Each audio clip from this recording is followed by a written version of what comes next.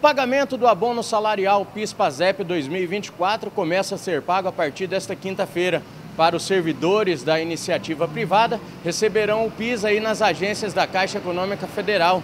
Já para os servidores públicos receberem o PASEP, receberão aí nas agências do Banco do Brasil. O abono salarial é um benefício no valor de até um salário mínimo, concedido anualmente a trabalhadores e servidores que atendem os requisitos do programa. Estar cadastrado no PIS-PASEP há pelo menos cinco anos, ter trabalhado para empregadores que contribuem para o Programa de Integração Social PIS ou Programa de Formação de Patrimônio do Servidor Público, o PASEP, ter exercido atividade remunerada pelo menos 30 dias no ano base de apuração, no caso, ano este de 2022. A data e os valores para recebimento, inclusive de anos anteriores, estão disponíveis para consulta no aplicativo Carteira Digital e no portal gov.br. De acordo com o Ministério do Trabalho, 24,8 milhões de servidores receberão aí o benefício, sendo